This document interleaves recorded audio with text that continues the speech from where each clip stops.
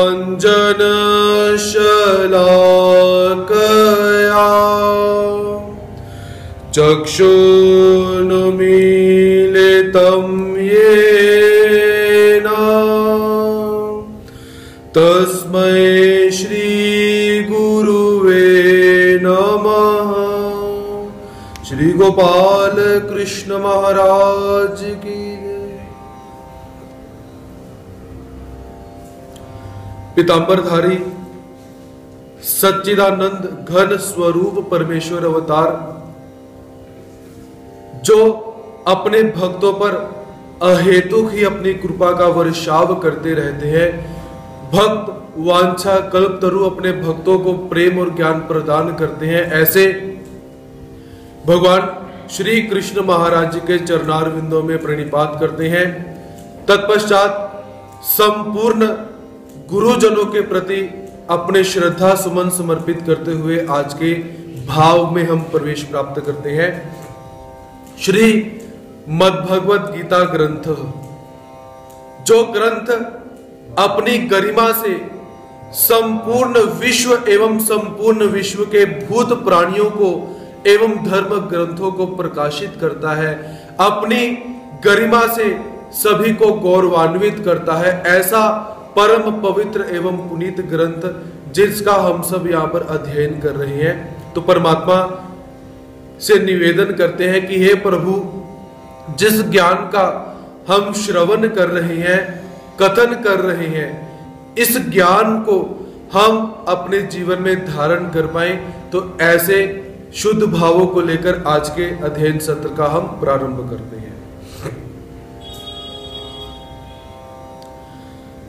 अथ षष्टोऽध्यायः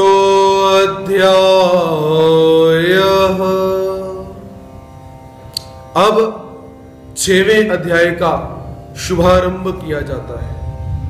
अवतरणिका पाँचवें अध्याय के अंदर अर्जुन भगवान श्री कृष्ण महाराज जी से प्रश्न करता है कि, हे प्रभु, आप कभी कर्म योग की बात करते हो या कभी संन्यास योग की बात करते हो तो आप मुझे निश्चित करके बताएँ कि करना क्या है।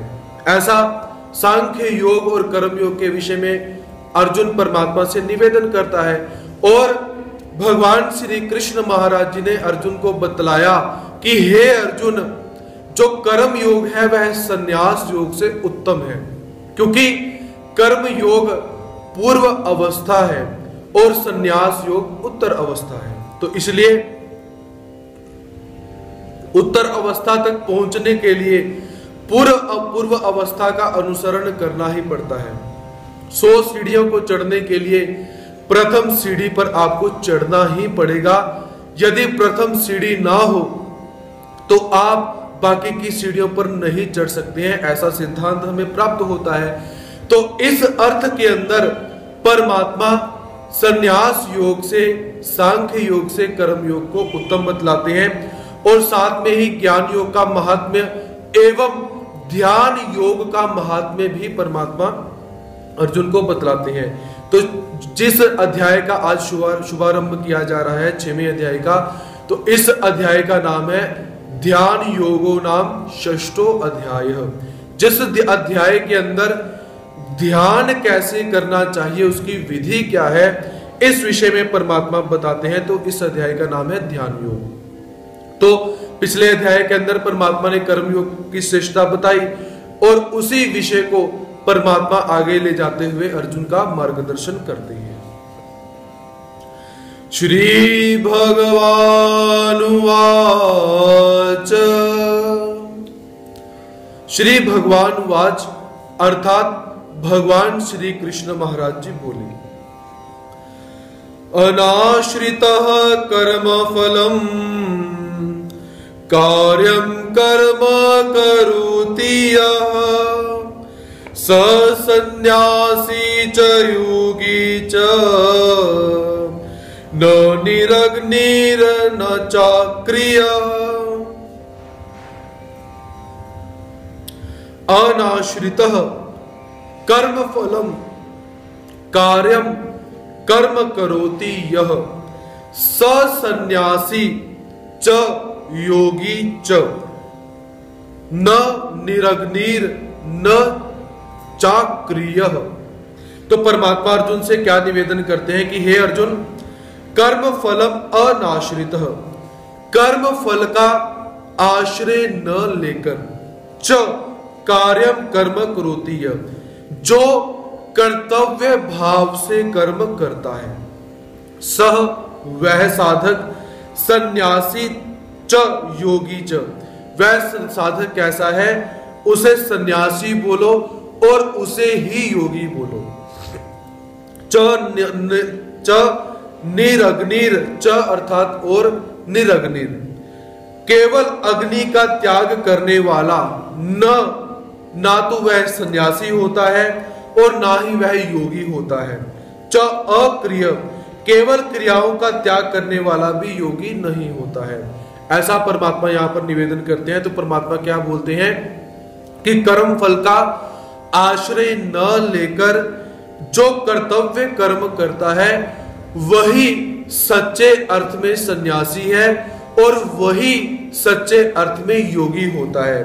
केवल अग्नि का त्याग करने वाला और केवल क्रियाओं का त्याग करने वाला सन्यासी नहीं होता है, योगी नहीं होता है, ऐसा परमात्मा यहाँ पर निवेदन करती है। अनाश्रित कर्म फलम सबसे पहले जो साधक होगा, उसका लक्षण क्या रहता है कि उस साधक का कर्म और कर्म के फल के अंदर आसक्ति नहीं होती। अनाश्रित वह किसी का भी आश्रय लेकर कर्म नहीं करता। कि जैसे हम लोग अपने जीवन के अंदर किसी ना किसी वस्तु और व्यक्ति के ऊपर डिपेंड रहते हैं, आश्रित रहते हैं। लेकिन जो साधक होगा, जो योगी होगा, वो किसी के आश्रय में नहीं रहता।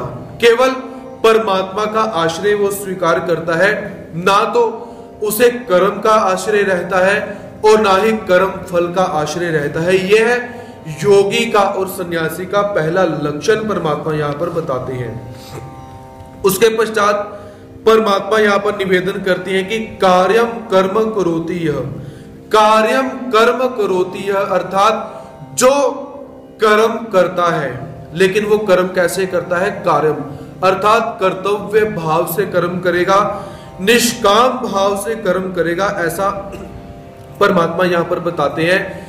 जो कर्म योगी होता है, वह कर्मों का त्याग नहीं करता, निष्काम कर्म करता है। उसके वाचक यहाँ पर परमात्मा यहाँ पर बताते हैं। कार्यम कर्म। और जो सन्यासी होगा, वह निष्काम कर्म तो करता ही है। साथ में जो अकर्तव्य होते हैं, जो सकाम कर्म होते हैं, उनका त्याग भी वो साथ में करता रहता है। कि अकर्तव्य कैसे? ये भी हमें दो प्रकार के प्राप्त होते हैं। पहला, अकर्तव्य, जिस कार्य को किया ही ना जा सकते, सके, उसे हम अकर्तव्य बोल सकते हैं। दूसरा, जिस कार्य का शास्त्रों में निषेध बोला गया हुआ है, ऐसे कार्य को भी अकर्तव्य कहा जाता है। तो जो कर्म योगी हो चुका है, पूर्व अवस्था के अंदर, अब उत्तर अवस्था के अंदर वो सांख्य योगी होता है तो वह निष्काम कर्म करते करते अकर्तव्य सकाम कर्म का परित्याग करता है। ऐसा परमात्मा यहाँ पर बताते हैं। और वह है कैसा है? स सन्यासी च योगी च। वही सन्यासी है। सच्चे अर्थ में सन्यासी कौन है? कि जो कर्तव्य कर्म करते हुए उसमें निर्लिप्त रहता है, उसमें अंदर के अंदर अलिप्त नहीं होता है, उसे सन्यासी कहा जाता है। और जो कर्म को करते हुए सुख दुख से रहित हो जाता है, सिद्धि असिद्धि से रहित हो जाता है, मान अपमान से रहित हो जाता है, उसे योगी कहा जाता है। ऐसा परमात्मा यहाँ पर निवेदन करते हैं। और वो कैसा होता है? न निरग्निर, कि जो केवल बाह्य क्रियाओं का त्याग कर देता है, लेकिन आंतरिक क्रियाओं का त्याग नहीं कर पाता है, वह ना तो सन्यासी है, ना योगी। तो यहाँ पर निरग्निर शब्द हमें प्राप्त होता है। तो हम इस शब्द का अर्थ ये भी ले सकते हैं कि परमात्मा भगवान श्री कृष्ण महाराज जी इस शब्द से मानो यह संकेत दे रहे हो कि जो अग्नि के द्वारा यज्ञ किया जाता है, उस यज्ञ के द्वारा भी वो यज्ञ करने के पश्चात भी जीवात्मा ना तो कर्मयोगी बन सकता है, ना ही संन्यास योगी बन सकता है, सांख्य योगी बन सकता है। कि जिन कर्मों में हवन आदि कर्म किए जाते हैं, होते हैं, वह कर्म छोड़ने वाला निरग्निर कहा गया हुआ है। कि जो साधक सच्चे अर्थ में कर्म योगी और सांख्य योगी होगा, वो कैसा होगा? निरग्निर। वह हवन इत्यादि जो क्रियाएँ होती है उनसे अलिप्त हो जाता है, उनसे दूर हो जाता है। ऐसा हम निरग्निर शब्द का यहाँ पर अभिप्राय ले सकते हैं। और वह साधक कैसे होता है? अक्रिय। अक्रिय अर्थात काम न करने वाला। जो पुराणों के अंदर अठारह प्रकार के हमें व्रत इत्यादि प्राप्त होते हैं, एकादशी आदि के व्रत होते हैं, और जो भी पुराणों के अंदर क्रियाएँ कही जाती हैं तो वह सन्यासी और कर्म योगी अक्रिय हो जाता है। देवता धर्म की क्रियाओं के विषय में वह कैसा रहता है? अक्रिय। वह वह कार्य करता ही नहीं है। जो वेदों और पुराणों के अंदर बोले हुए हैं, वही सच्चे अर्थ में कर्मयोगी होता है और सांख्य योगी होता है। इसके विपरीत, जो साधक देवता धर्म की विधियों को आचरण में लाता है, एकादशी के व्रत करता है करवा चौथ के व्रत करता है जो सूर्य ग्रहण इत्यादि लगते हैं उसमें देवताओं की विधियों का पालन करता है नवरात्र आते हैं। उनमें देवताओं धर्म की विधियों का पालन करता है या जो शिवरात्रि इत्यादि आती है उसमें देवता विधियों का पालन करता है। वह कैसा है? वह कभी भी कर्म योगी और सांख्य योगी नहीं बन सकता है। ऐसा परमात्मा यहाँ पर हमें निवेदन करते हैं कि सांख्य योगी और कर्म योगी कैसा होता है और उसे क्या करना चाहिए और, क्या नहीं करना चाहिए ऐसा भगवान श्री कृष्ण महाराज जी यहाँ पर बताते हैं। यम संन्यासमिति प्राहुर योगम तम विद्धि पांडव न संकल्पो, योगी भवति कश्चन। अब इस श्लोक के अंदर निष्काम कर्म योगी कैसे होते हैं? इस विषय में परमात्मा बताते हैं, यम संन्यास समिति प्राहुर योगम तम विद्धि पांडव। न हय संन्यस्त संकल्पो योगी भवति कश्चन। पांडव, हे अर्जुन, यम, लोग जिसको संन्यासम संन्यास इति प्राहु, ऐसा कहते हैं। अर्थात, हे अर्जुन, लोग जिसको संन्यास कहते हैं, तम योगम विद्धि, उसी को तुम योग जानो। ही, क्योंकि असन्यस्त संकल्पों, क्योंकि संकल्पों का त्याग किए बिना मनुष्य कश्चन योगी न भवती। कोई भी मनुष्य, कोई भी मनुष्य कैसा है, योगी नहीं बन सकता है। हे अर्जुन जिसको लोग सन्यास ऐसा कहते हैं, उसी को तुम योग जानो। क्योंकि जब तक संकल्पों का त्याग नहीं किया जाता या त्याग नहीं किया जाता, तब तक कोई भी जीवात्मा योगी नहीं बन सकता है, ऐसा तुम यहाँ पर जानो। तो परमात्मा ने यहाँ पर सांख्य योग और कर्म योग दोनों का महात्मा यहाँ पर परमात्मा बताते हैं।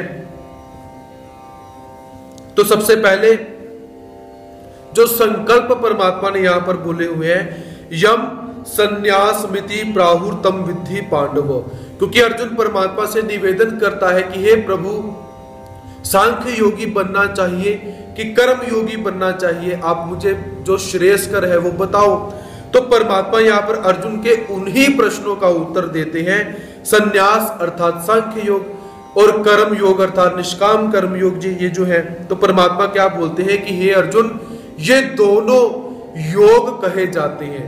यदि किसी व्यक्ति ने संकल्पों का त्याग नहीं किया तो वह कभी भी कर्मयोगी नहीं बन सकता है कि जैसे कोई व्यक्ति कैसा है कि मुझे ये वस्तु प्राप्त होनी चाहिए, उसने बाहर से सब कुछ त्याग दिया हुआ है। लेकिन मन की भावनाएँ कैसी रहती हैं कि ये मेरे कार्य के अंदर बाधक तत्व हैं ये मेरे पुत्र हैं, ये मेरी पुत्रियाँ हैं, ये मेरी पत्नी है, इनके द्वारा मुझे सुख प्राप्त होना चाहिए। मैंने नया मकान बनाया, मुझे इस नए मकान के माध्यम से सुख मिलना चाहिए। या मैंने ये नया व्यापार शुरू किया, मुझे इसके माध्यम से भी सुख प्राप्त होने चाहिए। जो व्यक्ति ऐसे संकल्प भी करता है, वह भी कभी योगी नहीं बन सकता, क्योंकि कर्म योगी को कैसे है? संसार में रहते हुए इन संकल्पों से भी दूर होना पड़ता है। तो इसलिए परमात्मा यहाँ पर अर्जुन से निवेदन करती हैं कि हे अर्जुन, जो संकल्पों का त्याग कर देता है, वही सांख्य योगी होता है और वही पूर्व अवस्था के अंदर कर्मयोगी हो सकता है, क्योंकि सांख्य योगी को ही तू योगी जान। यदि कोई जीवात्मा संसार के अंदर रहते हुए स्वयं को कर्म योगी बनाता है, लेकिन मन के अंदर उसके संकल्प चलते रहते हैं कि आज मैं ऐसा काम करूँ, आज मैं ऐसा काम करूँ, ये काम करने से मेरी प्रसिद्धि हो जाएगी, ये काम करने से मुझे द्रव्य प्राप्त हो जाएगा तो वह कर्म योगी कुछ अंश में बनेगा, लेकिन आगे का जो उत्तर अवस्था है, संन्यास अवस्था है, उसके अंदर वह प्रवेश प्राप्त नहीं कर सकता। तो इसलिए यहाँ पर परमात्मा संन्यास योग को ही कर्म योग बतला रहे हैं, ऐसा परमात्मा ने यहाँ पर सांख्य योग का और कर्म योग का परमात्मा ने एकत्व यहाँ पर बताया हुआ है। और पहले परमात्मा क्या बोलते हैं कि ये दोनों एक ही फल को प्रदान करने वाले हैं, इसलिए हे अर्जुन, किसी भी मार्ग का तो अनुसरण कर सकता है, ऐसा परमात्मा ने बताया हुआ है। अब परमात्मा योग प्राप्ति का साधन बताते हैं। कि योग की प्राप्ति कैसे की जा सकती है? आरुरुक्षोर मुनेरे योगम। कर्म कारणमुच्यते योगारूढ़स्य तस्यैव। शमः कारणमुच्यते। अरुक्षोर मुनिर्योगम कर्म कारणम उच्यते। योगारूढ़स्य तस्यैव शमः कारणमुच्यते। हे अर्जुन, योगम आरुरुक्षो।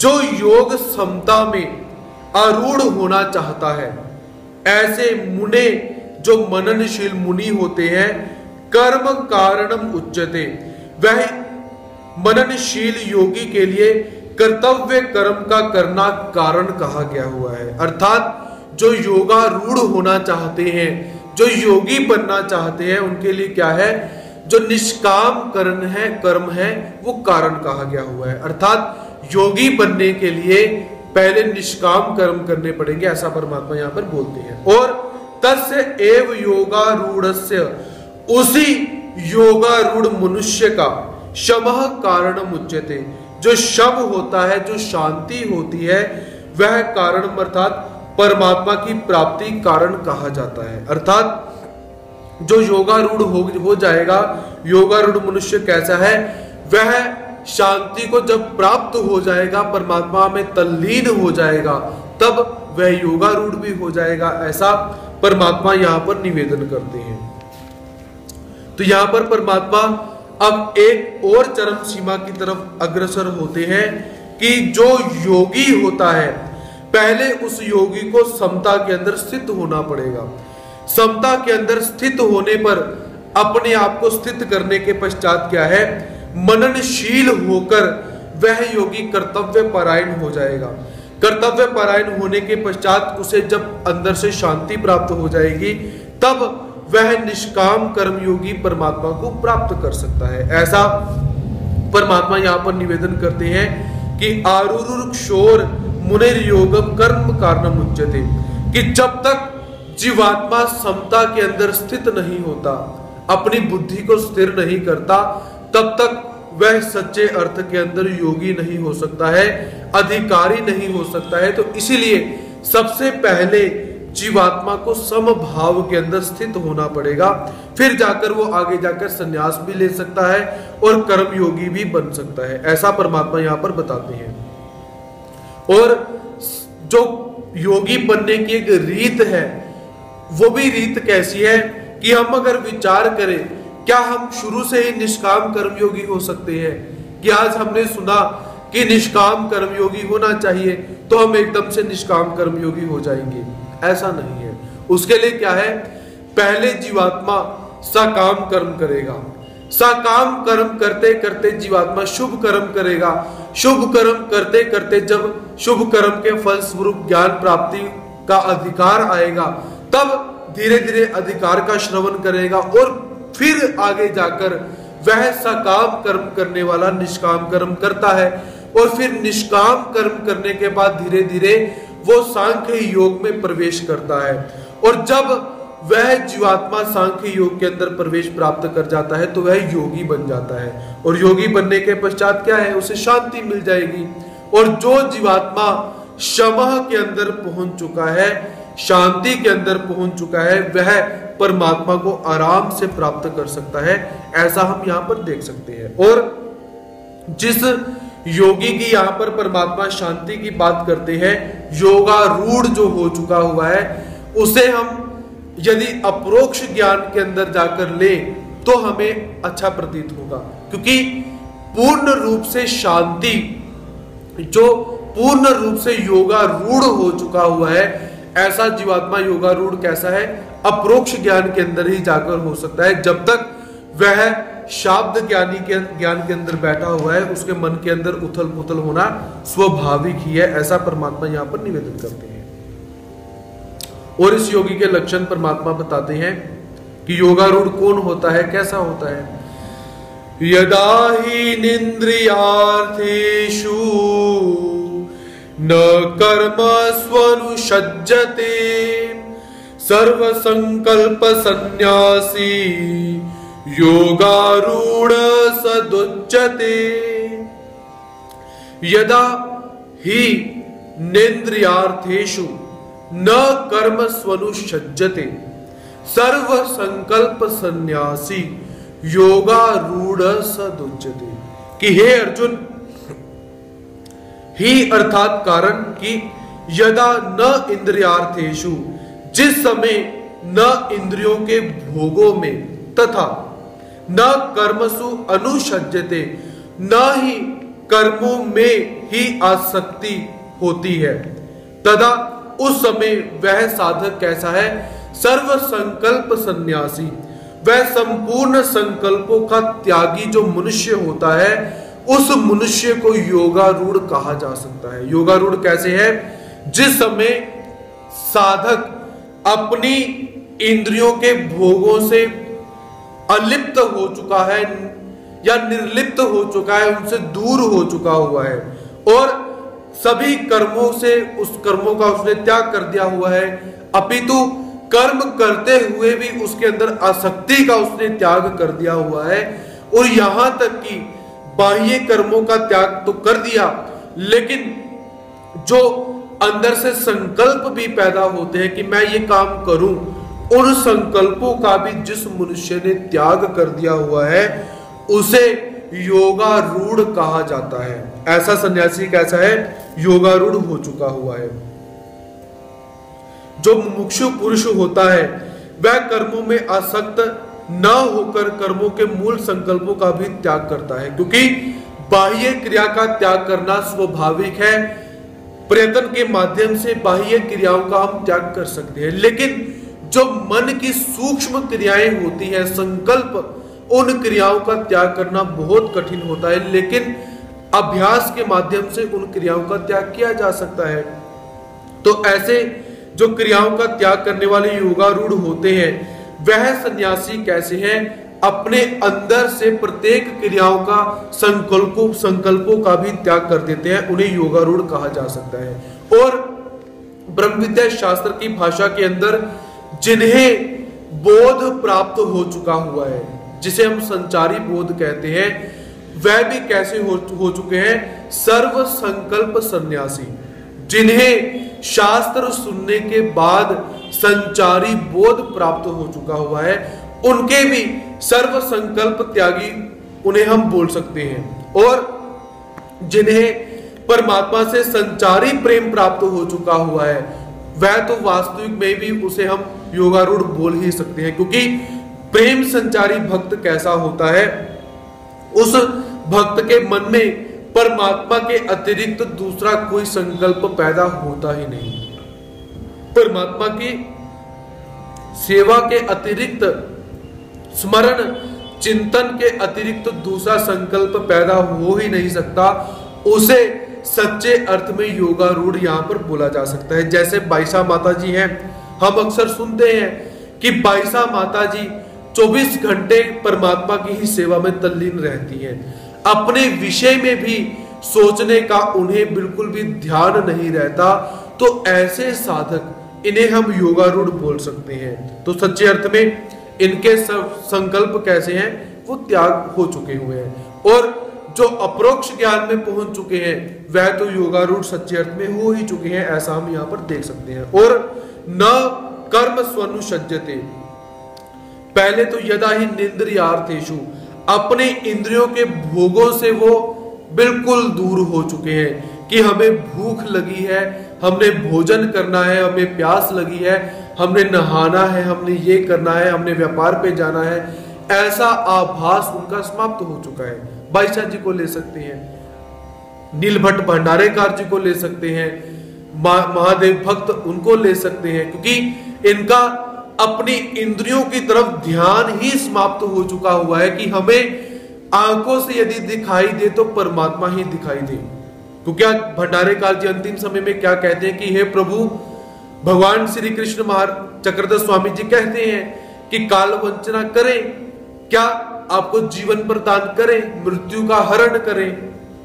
तो भंडारेकार जी कहते हैं कि प्रभु, क्या आपकी यही दिव्य अलौकिक श्री मूर्ति मुझे दिखाई देगी? परमात्मा कहते, नहीं। अर्थात, वो भक्त अपनी इंद्रियों से भी देखना चाहेगा तो परमात्मा को, सुनना चाहेगा तो परमात्मा को, बोलना चाहेगा तो परमात्मा को, स्वाद लेना चाहेगा तो परमात्मा के शब्द रूपी व्यंजनों का और स्पर्श करना चाहेगा तो परमात्मा की कोमल श्री मूर्ति का स्पर्श करना चाहेगा। और लेना चाहेगा तो परमात्मा के दर्शनों को लेना चाहेगा, देना चाहेगा तो परमात्मा के ज्ञान को देना चाहेगा। चलना चाहेगा तो परमात्मा की तरफ़ चलना चाहेगा। आनंद भी अगर लेना चाहेगा, विषय प्रेमी जो होते हैं तो वो परमात्मा का ही आनंद लेना चाहेगा। ऐसा जो भक्त होता है नेन्द्रियार्थेशु किसी भी इंद्रिय की तरफ़ उसका ध्यान नहीं है, उसे योगा रूढ़ हम बोल सकते हैं। उसके अतिरिक्त न कर्म स्वनुषज्जते जितने भी वो कर्म करता है, वो कर्म भी परमात्मा के अर्थ श्री कृष्ण अर्पण करके करता है, क्योंकि पर किसी भी कर्म के अंदर उसकी आसक्ति नहीं है। ऐसे भक्तों को योगा रूढ़ कहा जा सकता है सर्व संकल्प सन्यासी। जिन्होंने सभी संकल्पों का त्याग कर दिया हुआ है कि हमने सुबह उठकर ये व्यापार करना है, हमने सुबह उठकर अपने संबंधियों को मिलना है, आज हमारे संबंधी आ रहे हैं, हमने ऐसा करना है, आज ऐसा होने वाला है, ऐसे प्रत्येक संकल्पों का उन्होंने त्याग कर दिया हुआ है कि आज हमारे बाल बड़े हो चुके हैं, हमने कटिंग करवाने के लिए जाना है, दाढ़ी बड़ी हो चुकी है, हमने कटिंग करवाने के लिए जाना है, ऐसे सभी संकल्पों का उन्होंने त्याग कर दिया हुआ है। ऐसा जो योग के अंदर अरूढ़ हो चुके हुए हैं, उन्हें योगारूढ़ कहा जाता है। ऐसा परमात्मा यहाँ पर निवेदन करते हैं, क्योंकि इस भक्त के मन में कैसा है कि जीवात, परमात्मा को लेकर ही कुछ संकल्प पैदा होंगे। इसके अतिरिक्त और कोई भी संकल्प इस साधक के मन में पैदा नहीं हो सकता है।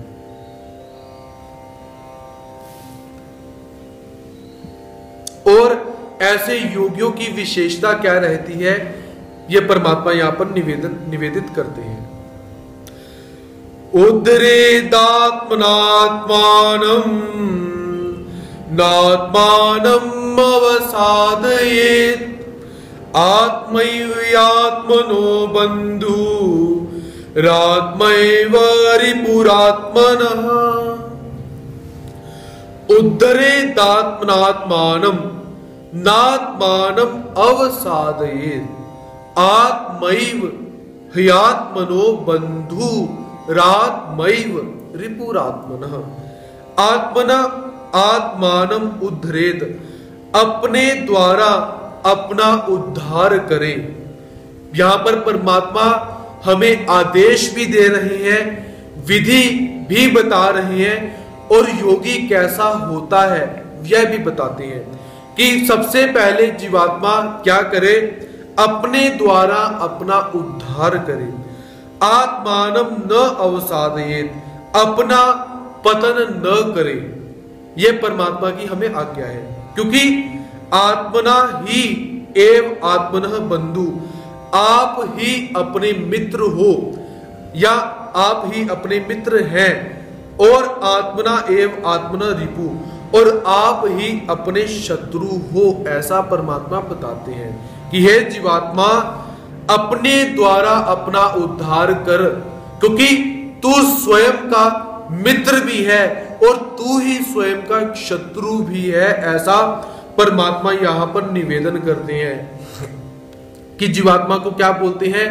कि अपना उद्धार करो, क्योंकि जीवात्मा का उद्धार करने वाला दूसरा कोई नहीं है। ना तो ईश्वर है, ना ही गुरु। क्योंकि गुरु और ईश्वर क्या करेंगे? आपको विधि का विधान कर कर चले जाएँगे। कर्तव्य क्या है? अकर्तव्य क्या है? बताकर पीछे हो जाएँगे। करना हमें ही है। वे जीव जो उनके पुण्य और कल्याण और यथार्थ को समझकर आचरण करते हैं। तो सबसे पहले जीवात्मा अपना मित्र कैसे बनता है?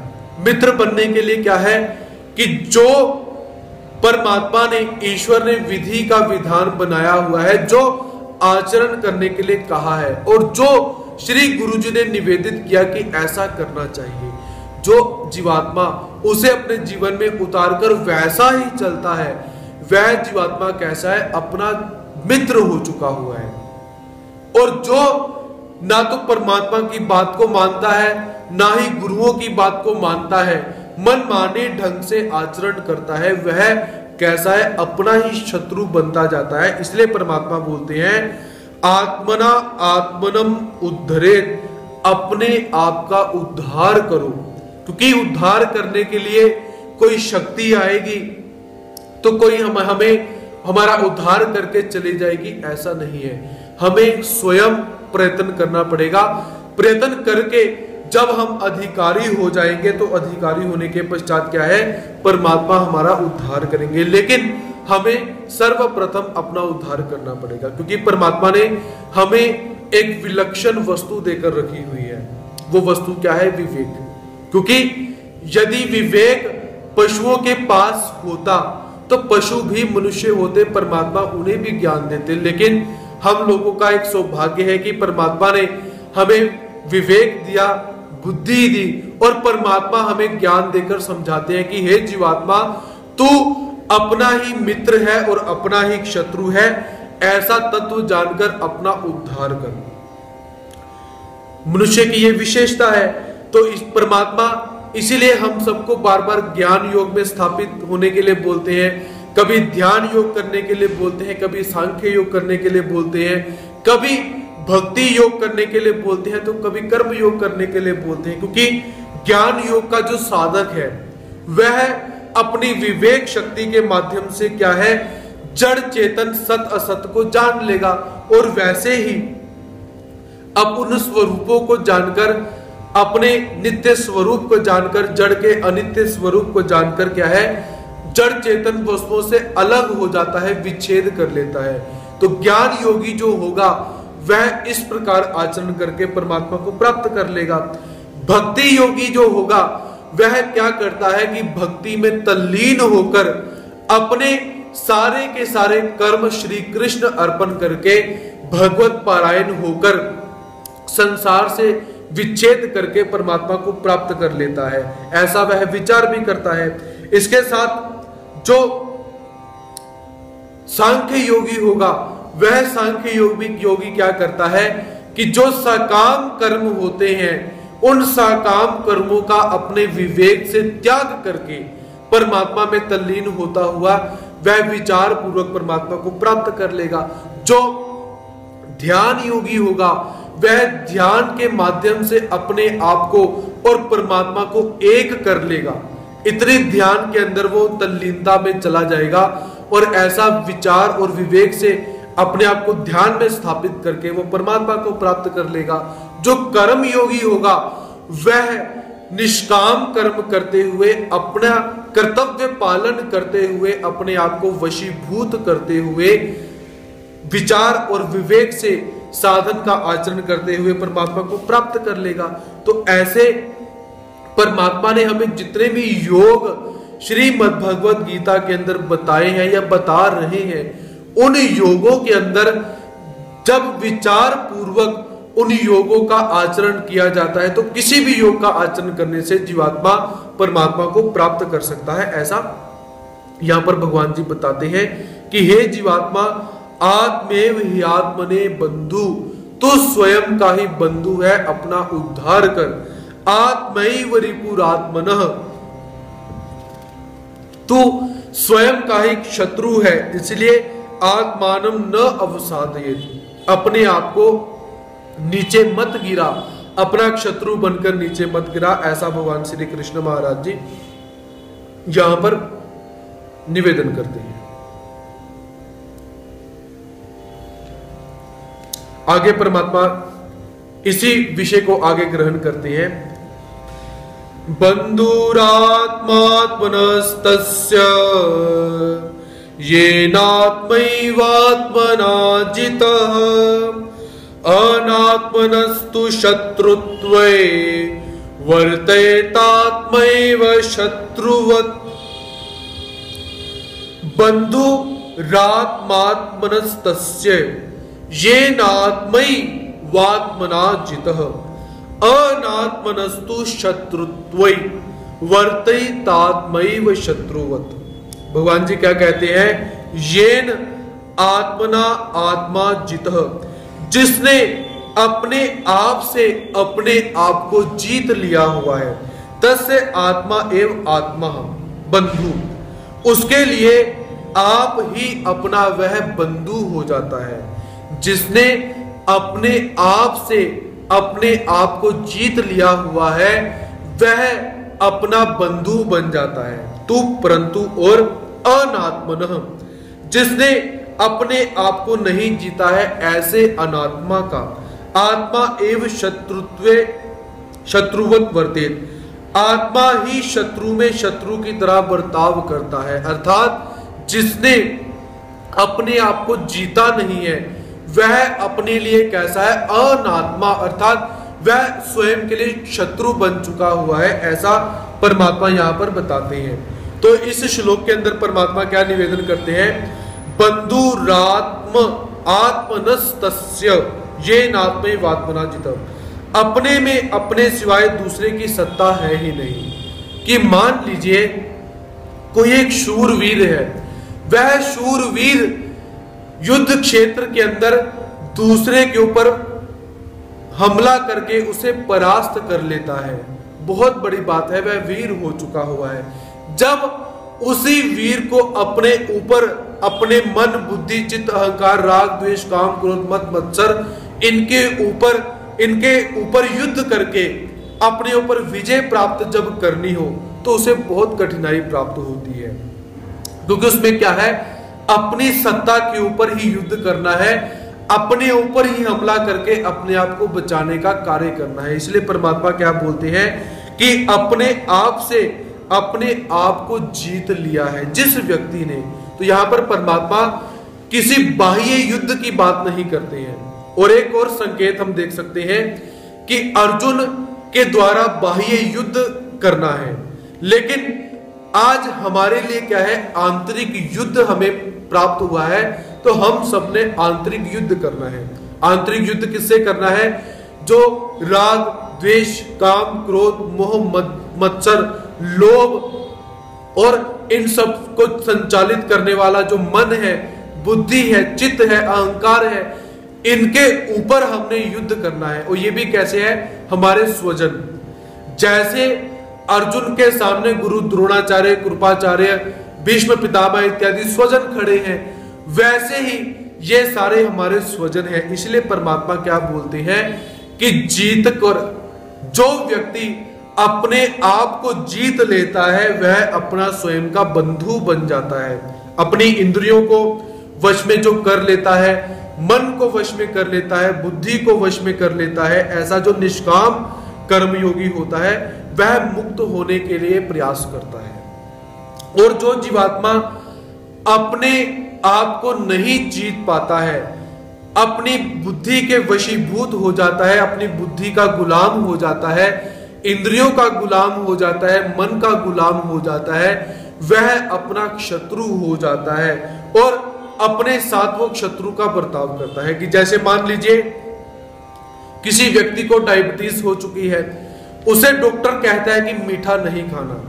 वह व्यक्ति यदि अपने आप को मैंने मीठा नहीं खाना, ऐसा अपने आप को वो जीत लेता है तो वो कैसा है?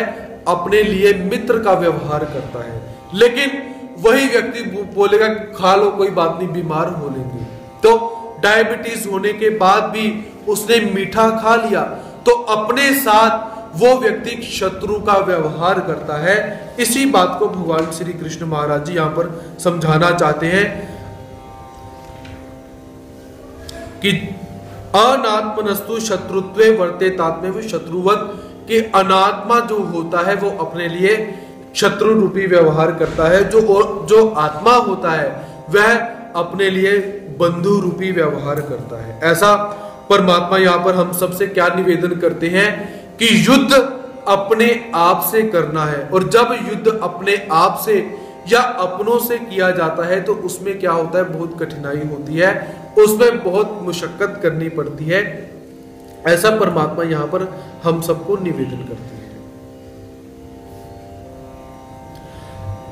जितात्मन प्रशांत परमात्मा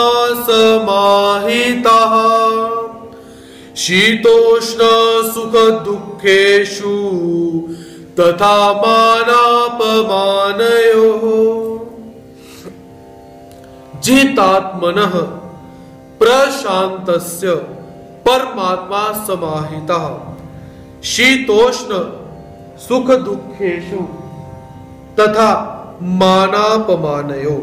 कि हे अर्जुन जीतात्मन जिसने अपने आप पर विजय प्राप्त कर ली हुई है, उस शीतोष्ण सुख दुखेशु शीत उष्ण और सुख और दुख के अंदर तथा मान अपमान मान और अपमान के अंदर प्रशांत जो निर्विकार हो चुका है, ऐसे मनुष्य को परमात्मा समाहिता, परमात्मा नित्य प्राप्य है। परमात्मा क्या बोलते हैं?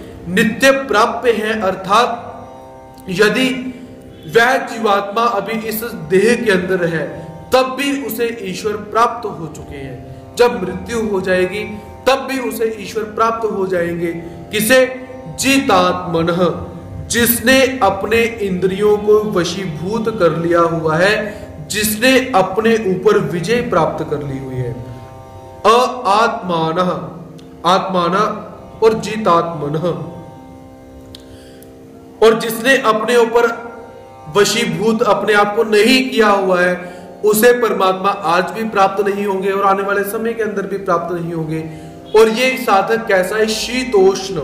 शीतोष्ण शीत अर्थात सर्दी, उष्ण अर्थात गर्मी। जिसने गर्मी को भी सहन करने की शक्ति रखी हुई है और सर्दी को भी सहन करने की शक्ति रखी हुई है, लेकिन यहाँ पर शीत और उष्ण का अर्थ हमने क्या लेना है? केवल सर्दी गर्मी न लेकर अनुकूल परिस्थितियाँ और प्रतिकूल परिस्थितियाँ। जो जीवात्मा अनुकूल परिस्थितियों के अंदर और प्रतिकूल परिस्थितियों के अंदर कैसा रहता है? प्रशांत जिसके मन के अंदर विकार पैदा होता ही नहीं है। खलबली जो है, वो पैदा होती ही नहीं है, ऐसा साधक। कैसा है? मान अपमान हो और मान मिल जाए, अपमान मिल जाए, उसमें कैसा है? प्रशांत। निर्विकार रहता है। ऐसे साधक को ईश्वर नित्य प्राप्त रहते हैं, ऐसा हम देख सकते हैं। तो यहाँ पर परमात्मा जो नित्य प्राप्त ईश्वर है, सुखी होता है, व्यक्ति जो शांत होता है, प्रशांत होता है, उसके लक्षण परमात्मा यहाँ पर बताते हैं कि हम अक्सर देखते हैं कि हम अपने आप को शांत करने का प्रयास करते हैं, सुखी करने का प्रयास करते हैं। वो कैसे? कि हमारे पास बहुत सारी सुख की वस्तुएँ आ जाएँ। तो हम सुखी हो जाए, शांत हो जाएँ, ऐसा हम मानते हैं कि कोई व्यक्ति भोजन करने के लिए बैठा। भोजन करने के पश्चात क्या है? मन में विचार करेगा कि ये इस व्यंजन को खाने के बाद मैं सुखी हो जाऊँगा, मुझे आनंद मिलेगा। वह उस व्यंजन को खाता है, खाने के पश्चात क्या है? कुछ क्षण के लिए सुख मिला, पुनः भूख लग जाती है। अर्थात सुख उसे मिला, लेकिन थोड़ा सा। वस्तु हमने खरीदी खरीदने के पश्चात थोड़ा सा सुख मिला, फिर अभाव हो जाता है। तो इस सुख को जो सुख मानता है, वो अविवेकी रहता है। वास्तव में सुख कौन सा है? जिसके अंदर सुख का आरंभ तो हो, लेकिन सुख का नाश ना हो, उसे सुख कहा जाता है। और जिसमें दुख ना हो, उसे सुख कहा जा सकता है। ऐसा परमात्मा यहाँ पर बोलते हैं प्रशांत प्रशांत अर्थात बिल्कुल शांत हो चुका है मन जिसका। अनुकूल परिस्थितियाँ आ जाएँ या प्रतिकूल परिस्थितियाँ आ जाएँ, जिस व्यक्ति ने अपने मन को जीत लिया हुआ है, अपनी इंद्रियों को जीत लिया हुआ है, और अपनी स्थितियों को भी जिसने जीत लिया हुआ है, और जो व्यक्ति परमात्मा समाहिता, परमात्मा के अंदर नित्य लगा रहता है मान अपमान में सम रहता है, उसे परमात्मा नित्य प्राप्य है। आज के समय में भी परमात्मा नित्य प्राप्य है, आने वाले समय के अंदर भी, क्योंकि ऐसे बहुत सारे संत आप लोगों ने देखे होंगे कि उनको किसी व्यक्ति ने यदि करोड़ों रुपए भी दे दिए, पहले तो वह व्यक्ति लेते नहीं साधन। ले ले तो उसे उसी समय दान कर ले, कर देते हैं, क्योंकि उन्हें भौतिक साधनों से सुख प्राप्त होता ही नहीं। ऐसे साधकों को ईश्वर नित्य प्राप्य हो चुका है, ऐसा हम समझ सकते हैं। आप लोगों ने बहुत सन्यासी ऐसे देखे होंगे। एक मंडल हाथ में पकड़ा होता है, दंड हाथ में पकड़ा होता है, कुपीन धारण की होती है, लंबे बाल है।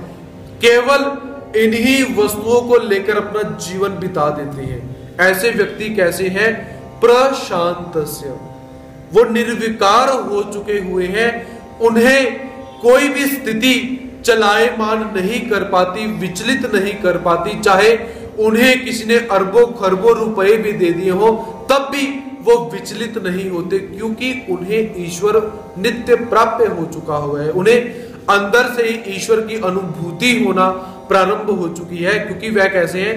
योगा रूढ़ सदोचे थे।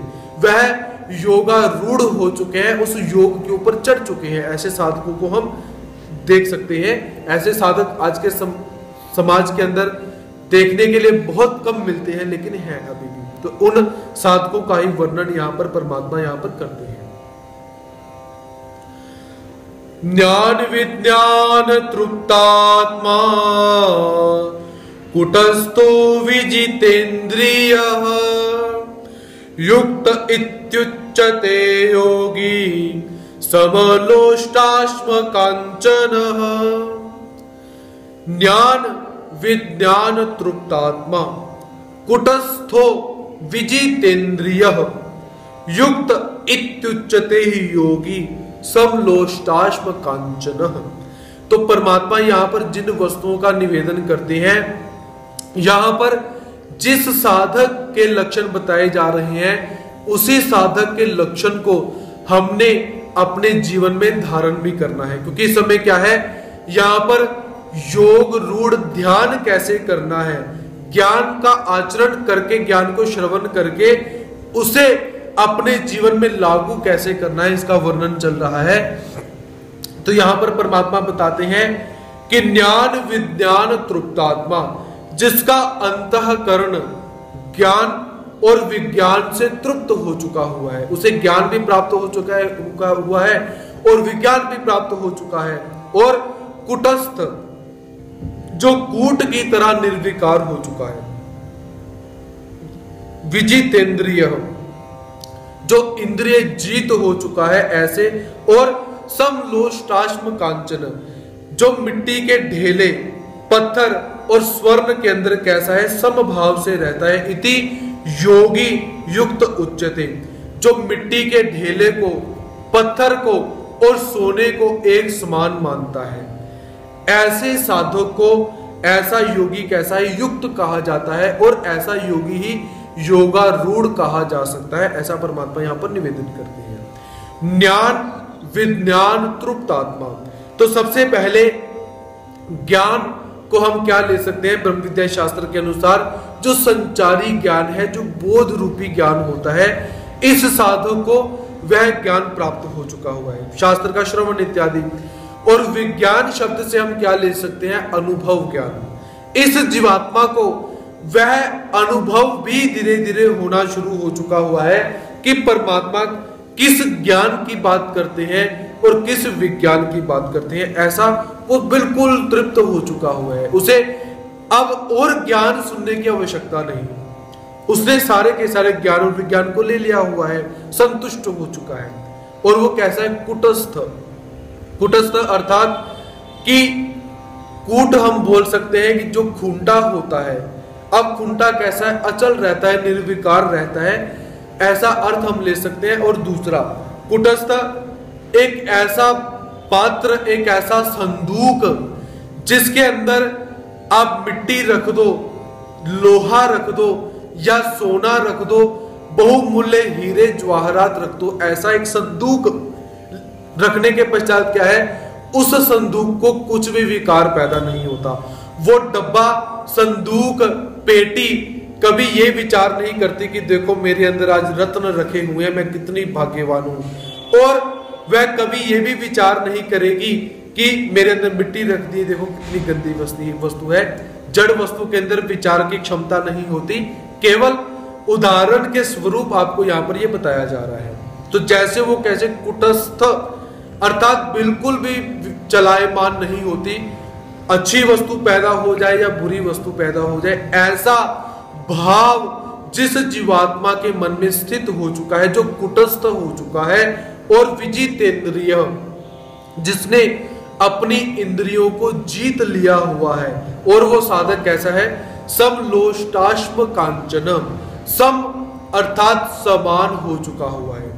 लोष्ट कहा जाता है मिट्टी को। सम लोष्ट अशम अशम कहा जाता है पत्थर को। कांचन कांचन कहा जाता है सोने को। इनके अंदर क्या है? उसकी सम बुद्धि रहती है। अर्थात ऐसा अर्थ नहीं कि उसे मिट्टी के गुणधर्म नहीं पता, उसे पत्थर के गुणधर्म नहीं पता, या उसे सोने के गुणधर्म नहीं पता। इसलिए अज्ञान के कारण उसको लगता है कि एक जैसी वस्तु ही ऐसा नहीं। उसे ज्ञान हो चुका है। उसे पता है कि मिट्टी किस भाव की है। पत्थर किस भाव का है और सोना किस भाव का है।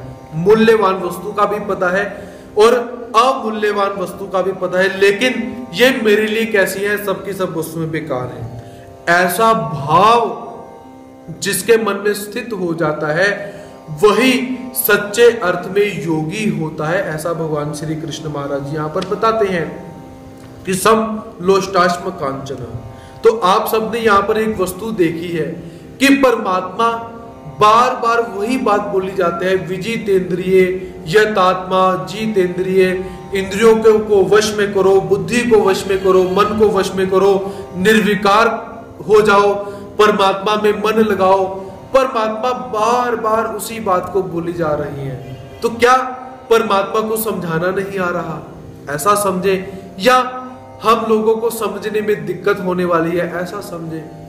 कोई ना कोई कारण तो अवश्य होगा परमात्मा बार बार एक ही बात को बोलते हैं तो उसको हम यू समझ सकते हैं कि जैसे हम लोग कभी कभी गाड़ी में बैठकर बहुत लंबा सफ़र करते हैं। तो लंबा सफ़र करते समय क्या है कि रास्ते के अंदर हमें एक बोर्ड दिखाई दिया। उस बोर्ड के ऊपर क्या लिखा हुआ है कि एक ढाबे का नाम लिखा हुआ है कि बाबे दा टाबा खा के ज़रूर जाना। ऐसा वहाँ पर लिखा हुआ है।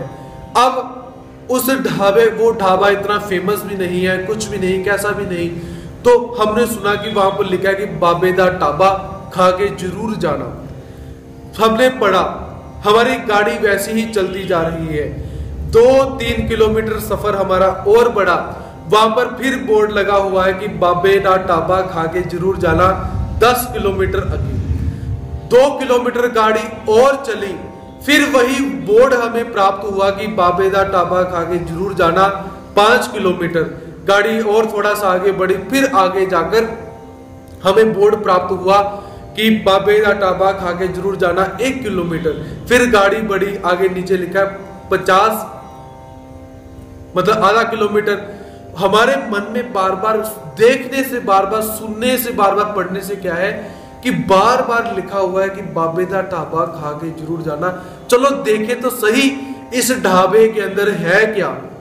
तो मन के अंदर जैसे बार बार पढ़ने से, बार बार सुनने से, बार बार देखने से एक भाव पैदा हो गया कि चलो देखें तो सही। परमात्मा बार बार बोलते हैं कि इंद्रियों को जीतो, देखो तो सही करके इंद्रियों को कैसे जीता जाता है। परमात्मा बार बार बोलते हैं कि जैसे वो लोग ढाबे के अंदर चले गए, जाकर भोजन खाया अच्छा लगा या बुरा लगा, लेकिन काम उन्होंने कर दिया। पढ़ पढ़ पढ़ के, बोल बोल करके, सुन सुन करके उन्होंने वो काम कर दिया। वैसे ही, जब हम इन तत्वों को बार बार सुनते हैं तो हमारे मन के अंदर भी आता है कि परमात्मा बार बार बोलते हैं, मत पारायण, मेरे पारायण हो जाओ। मन मना, मेरे अंदर मन लगाओ विजित इंद्रिय अपनी इंद्रियों को जीतो, सत और असत के ज्ञान को धारण करो। जब बार बार हम इन बातों को सुनते रहेंगे तो हमारे मन के अंदर क्या है?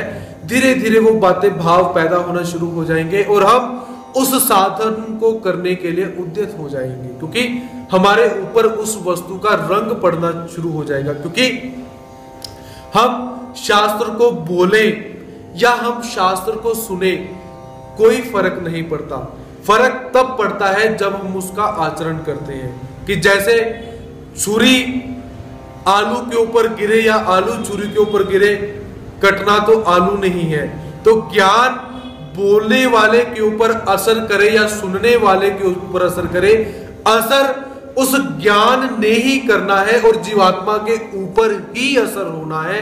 इसलिए परमात्मा बार बार उन्हीं वस्तुओं का यहाँ पर निवेदन करते हैं हम सब जीवात्माओं को, कि हमारे अंदर परमात्मा के प्रति राग पैदा हो जाए, परमात्मा के प्रति हमारा प्रेम पैदा हो जाए, परमात्मा के प्रति हम आकृष्ट हो जाए, इसलिए परमात्मा बार बार उन्हीं वस्तुओं का यहाँ पर निवेदन करते हैं।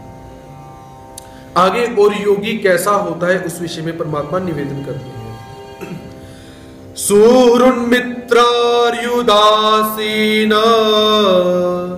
मध्यस्थद्वेष्य बन्धुषु, साधुष्वपि च पापेषु, समबुद्धिर्वशिष्यते।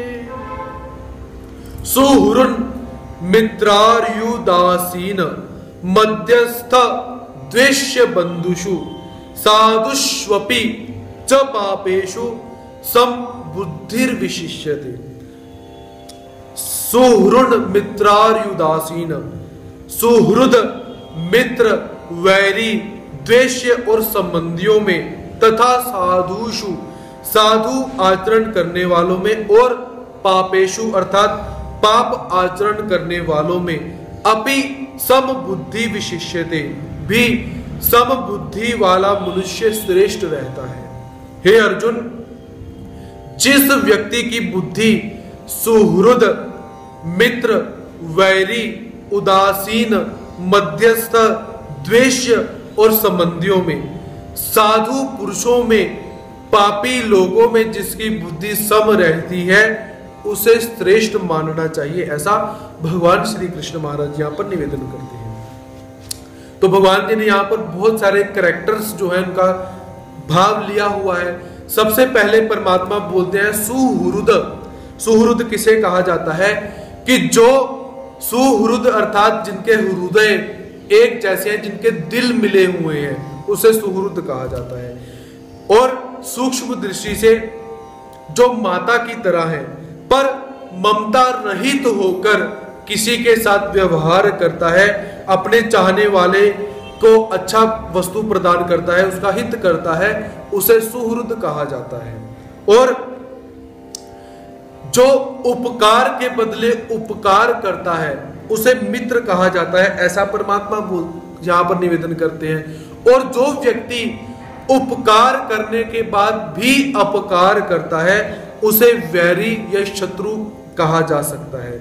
इसके अतिरिक्त, जो व्यक्ति किसी कारण को लेकर, किसी कारण के वशीभूत होकर, किसी दूसरे व्यक्ति का अपकार करता है उस व्यक्ति को द्वेष्य कहा जाता है। अर्थात मन में द्वेष की भावना लेकर किसी दूसरे व्यक्ति का अपकार किया जाए, उसे द्वेष्य कहा जाता है, ऐसा परमात्मा बोलते हैं। और जिस व्यक्ति का किसी भी व्यक्ति से कोई भी लेना देना नहीं है, उसे उदासीन कहा जाता है। उदासीन मतलब कुछ भी हो जाए, हम अपनी मौज में बैठे हुए, मस्त मलंग जिसे कहें। और मध्यस्थ कैसे है कि मध्यस्थ कि किसी का कोई वस्तु के बीच में मध्यस्थ होने के लिए जाना इंटरफेयर करना। जैसे हम मान सकते हैं कि किसी दो व्यक्तियों का झगड़ा चल रहा है।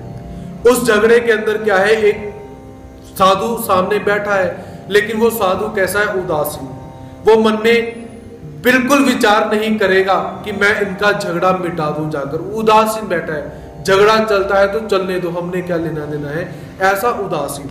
लेकिन एक व्यक्ति ऐसा होगा कि बोलेगा कि चलो जाओ, जाकर इनका झगड़ा मिटा देते हैं। उसे कहा जाता है मध्यस्थ होना।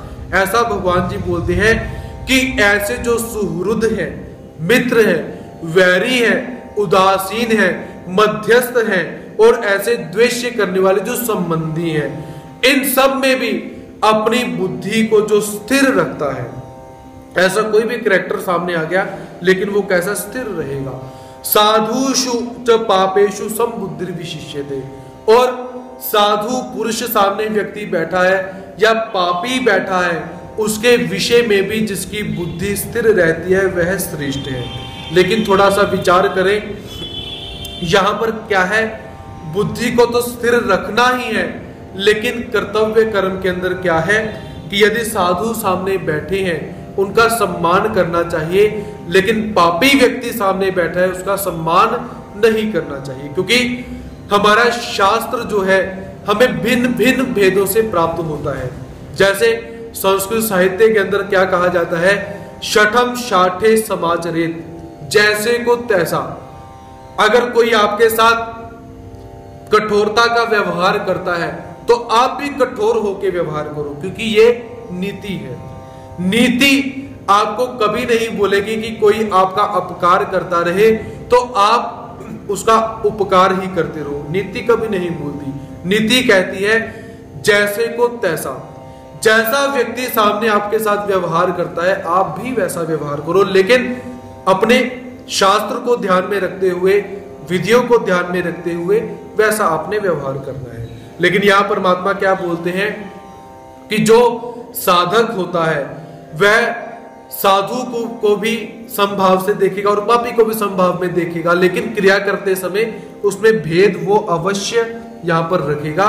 तो ऐसे सब बुद्धि विशिष्य थे जिसकी बुद्धि स्थिर हो चुकी हुई है विशिष्यते वह उत्तम कहा जाता है ऐसा परमात्मा यहाँ पर निवेदन करते हैं। तो परमात्मा ने यहाँ पर पुनः समता के भाव को लाने का प्रयास किया हुआ है क्योंकि जब तक समता नहीं आएगी, समानता का भाव नहीं आएगा, तब तक आप कर्म योगी नहीं बन पाओगे। क्योंकि यहाँ पर परमात्मा क्या है?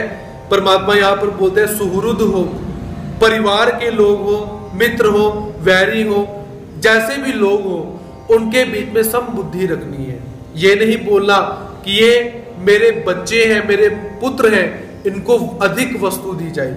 ये मेरे पुत्र इत्यादि नहीं है, इनको कम वस्तु दे दो, ऐसा नहीं। ये भी जीव है, ये भी जीव है। ममता इनके अंदर भी नहीं है, ममता उनके अंदर भी नहीं है। इनको भी वस्तु देनी है कर्तव्य भाव से, उनको भी वस्तु देनी है कर्तव्य भाव से। जब ऐसी सम बुद्धि पैदा हो जाएगी तो उस सम बुद्धि से क्या है? मनुष्य धीरे धीरे धीरे धीरे श्रेष्ठता को प्राप्त होता जाता है और वही कर्मयोगी पूर्व अवस्था का उत्तर अवस्था में सांख्य योगी बनकर परमात्मा को प्राप्त कर लेगा, ऐसा परमात्मा यहाँ पर बताते हैं। योगी युंजीत सततम, आत्मान रहसी स्थित, एकाकीयत चित्तात्मा, निराशीर परिग्रह। योगी युंजीत सततम आत्मानम रहसी स्थित। एकाकी यत चित्तात्मा निराशीर परिग्रह। अब परमात्मा सम बुद्धि रखकर करना क्या है, उस विषय में निवेदन करते हैं कि हे अर्जुन, अपरिग्रह। भोग बुद्धि से संग्रह न करने वाला, उसे अपरिग्रह कहा जाता है। निराशी इच्छा से रहित, आशा से रहित यत्तात्मा अंतकरण तथा शरीर से वश में रखने वाला, अंतकरण और शरीर को वश में रखने वाला योगी, जो योगी होता है, वो कैसा है? एकाकी, अकेला रहता है। रहसी, एकांत में, अकेला एकांत में स्थित होकर आत्मानम सततम युंजीत स्थित होकर मन को निरंतर परमात्मा में लगाए। परमात्मा यहाँ पर आदेश क्या देते हैं? भोग बुद्धि से पदार्थों का संग्रह न करने वाला, इच्छा सहित शक्ति से रहित होकर और अपने अंतकरण और शरीर को वश में करते हुए योगी अकेला एकांत में रहते हुए मुझमें स्थित होकर अपने आप को मुझमें लगाए। ऐसा परमात्मा यहाँ पर निवेदन करते हैं। तो यहाँ पर हमें योग शब्द प्राप्त होता है। तो यह योग शब्द युज समाधु धातु से हमें प्राप्त होता है, जिसका अर्थ क्या है कि अपनी चित्त वृत्तियों का निरोध करना। योग युज समाधो धातु से, क्योंकि आचार्य पतंजलि योग शास्त्र के अंदर क्या बोलते हैं? योग चित्त वृत्ति निरोध। कि योग से चित्त की वृत्तियों का निरोध किया जा सकता है, उनको शांत किया जा सकता है। तो परमात्मा हमें यहाँ पर योग करना चाहिए, ये बताते हैं। योग अर्थात इसके अंदर प्राणायाम भी आ सकता है, इसके अंदर पद्मासन भी आ सकता है, वज्रासन भी आ सकता है, भुजंगासन भी आ सकता है, शीर्षासन भी इसके अंदर आ सकता है, धनुरासन भी इसके अंदर आ सकता है, श्वासन भी इसके अंदर आ सकता है, और बहुत सारे आसन भी इसके अंदर आ सकते हैं, क्योंकि परमात्मा यहाँ पर योग बता रही है। हमारे बहुत सारे सज्जन ऐसे हैं, जब उनसे निवेदन किया गया कि प्राणायाम करना चाहिए, योग करना चाहिए तो बहुत सारे सज्जन उनका प्रश्न रहा कि परमात्मा भगवान श्री कृष्ण महाराज जी ने योग करने के लिए कहा कहा? और भगवान श्री चक्रधर स्वामी जी ने कहा, बोला कि ऐसे प्राणायाम करो, ऐसा योग करो। तो सबसे पहले ऐसे प्रश्नों का निर्माण कब होता है? क्योंकि हमारे सज्जन जो हैं, वो उन्हीं वस्तुओं को सुनते हैं जो उन्हें सुनाई जाती है। और आज तक जो वस्तुएँ परंपरा से हम सुनते आ रहे हैं वही सु, हमने सुनी। और कभी कभी क्या है? सुनी लेकिन हमने समझी नहीं। बताने वाले ने अच्छा बताया लेकिन समझने वाले ने समझा नहीं। ऐसा प्रश्न बहुत सारे लोगों का है कि परमात्मा ने कहा बोला कि योग करो। तो पहले भगवान श्री चक्रधर स्वामी जी का सिद्धांत देखते हैं व्यायामे वायु नासे।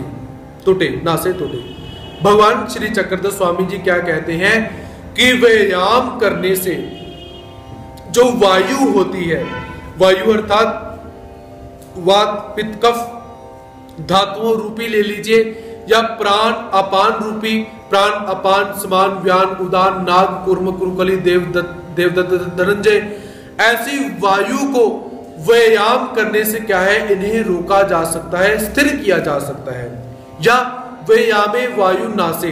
व्यायाम करने से क्या है? हमारे शरीर के अंदर जो वायु होती है, वो वायु उसका नाश हो जाता है, क्योंकि आज के समय के अंदर जितना भी आपने ये जो आप रोग देखते हो कि हमें खाना पचता नहीं है, या हमारे पेट के अंदर क्या होता है कि एसिड बनता है, दिमाग के अंदर क्लोट बन जाता है, जिसे हम कैंसर भी बोल सकते हैं। उसके पश्चात शरीर के अंदर अटैक आता है, वो अटैक इन सब का कारण क्या रहता है कि हमारी ये जो वायु है, ये वायु के जब कार्य ऊपर नीचे हो जाते हैं तो ऐसे अधरंग रोग रोग जो होते हैं, आधे शरीर का हिस्सा चलना बंद हो जाता है, अधरंग कहा जाता है, जहाँ थतलाना व्यक्ति शुरू हो जाता है, ऐसा बहुत सारे रोग हमें प्राप्त होते हैं। तो इन रोगों का कारण क्या है? वायु का ऊपर नीचे होना। तो परमात्मा भगवान श्री चक्रधर स्वामी जी क्या कहते हैं? व्यायामे वायु टूटे। व्यायाम करने से वायु से होने वाले रोग दूर हो जाते हैं। तो वायु अर्थात प्राण, अपान, कुंभक, रेचक, पूरक, लेकिन समझने वाले ने आज तक समझा ही नहीं। और उसी बात को, उसी बात को भगवान श्री कृष्ण महाराज जी यहाँ पर क्या बोलते हैं? योगी। योग। योग अर्थात चित्त को रोकने के लिए, अपने वृत्तियों को रोकने के लिए, शरीर को रोकने के लिए योग करना चाहिए। भगवान श्री चक्रधर स्वामी जी भी बोलते हैं और भगवान श्री कृष्ण महाराज जी भी बोलते हैं। तो सबसे पहले योग करने कर, योग के अंतर्गत हमें बहुत सारे तत्व प्राप्त होते हैं। तो सबसे पहले क्या करना है? अपरिग्रह। अपरिग्रह अर्थात संग्रह न करना। चित्त वृत्तियों का निरोध रूप योग का साधन। संसार से विमुख होकर केवल परमात्मा में ही अपने मन को लगाना, उसे अपरिग्रह हम बोल सकते हैं। या किसी भी अन्य साधनों को इकट्ठा न करना। संग्रह न करना उसे अपरिग्रह कहा जाता है। दूसरा, अपनी चित्त वृत्तियों को विषय वासनाओं की तरफ़ से रोकना, अपने आप को योग में बिठाकर अपनी वृत्तियों को रोकने को बोला जाता है अपरिग्रह, अर्थात रोकना। यहाँ पर जब योग करेंगे तो योग के माध्यम से हम अपनी चित्त वृत्तियों को रोकेंगे। तो जो व्यक्ति अपरिग्रह करता है, वह परमात्मा को प्राप्त हो जाता है। और परमात्मा हमें क्या बोलते हैं? कि आत्मान सततम युंजीत अपरिग्रह करते हुए जीवात्मा परमात्मा को प्राप्त हो सकता है। उसके पश्चात निराशी निराशी अर्थात अपरिग्रह करते हुए इच्छा से रहित हो जाना, उसे निराशी कहा जाता है। कि मुझे परमात्मा के अतिरिक्त तो और कुछ भी नहीं चाहिए। मुझे किसी का आश्रय नहीं चाहिए, किसी से कोई वस्तु नहीं चाहिए, उसे निराशी कहा जाता है। यद चित्तात्मा। यद चित्तात्मा अर्थात बाहर से अपने लिए सुख पदार्थों का संग्रह छोड़ दिया और भीतर से भोग को प्राप्त करने की इच्छा भी छोड़ दी, ऐसा अपना चित्त परमात्मा में लगा दिया, उसे यद चित्तात्मा यहाँ पर बोला गया हुआ है। और योगी जिसने ध्यान लगा लिया हुआ है अपने आप को रोक लिया हुआ है ध्येय मेरा लक्ष्य क्या है ऐसा जिसने चयनित कर लिया हुआ है मन को वश में जिसने कर लिया हुआ है जो समाधि के अंदर बैठ चुका है हुआ है उसे योगी कहा जाता है एकाकी। और ये योगी कैसा है? एकाकी अर्थात एक कांत एक का, एक कांत के अंदर एक अकेला ही रहता है। साथ में किसी को भी नहीं रखता। रहसी अर्थात एकांत के अंदर ये साधक अकेला रहते हुए अपने योग को करता है, अपने योग में स्थित रहते हुए कैसा है? आत्मानम सततम युंजित परमात्मा को प्राप्त करता है। और परमात्मा हमसे क्या कहते हैं कि, हे जीवात्मा, अपरिग्रह, निराशी चित्तात्मा एकाकी, रहसी स्थित अपरिग्रह करते हुए आशा से रहित होकर मेरे में मन लगाते हुए, एकांत में रहते हुए, अकेले रहते हुए परमात्मा को प्राप्त करो और तुम्हें ऐसा नियम का पालन करना चाहिए, ऐसा परमात्मा यहाँ पर बोलते हैं। और परमात्मा ने यहाँ पर अकेला रहने के लिए बोला हुआ है, क्योंकि जब तक जीवात्मा अकेला नहीं रहेगा, दूसरे के संबंध से उसे सुख और दुख प्रणवित होने शुरू हो जाएँगे और वह समाधि नहीं लगा पाएगा। इसलिए परमात्मा ने यहाँ पर अकेला रहने के लिए निवेदन किया हुआ है हुआ है। और भगवान श्री चक्रधर स्वामी जी ने भी अकेला रहने के लिए निवेदन किया हुआ है, रहसी, अर्थात एकांत के अंदर। तो भगवान श्री चक्रधर स्वामी जी भी यही बोलते हैं कि एकांत के अंदर रहो, और भगवान श्री कृष्ण महाराज जी भी यही बोलते हैं कि एकांत के अंदर रहकर आत्मानम सततम युंजित, अपने आप को लगातार परमात्मा में लगाओ, ऐसा भगवान श्री कृष्ण महाराज जी हम सब साधकों से यहाँ पर निवेदन करते हैं। तो आज का समय हमारा यहीं पर समाप्त होता है। कल पुनः ध्यान योग रूपी छवें अध्याय को लेकर आप सबके समक्ष उपस्थित होने का प्रयास रहेगा। तब तक के लिए सभी श्रोत्र वृंदों को माता बहनों को और बंधु जनों को साष्टांग दंडवत प्रणाम। जय श्री कृष्ण।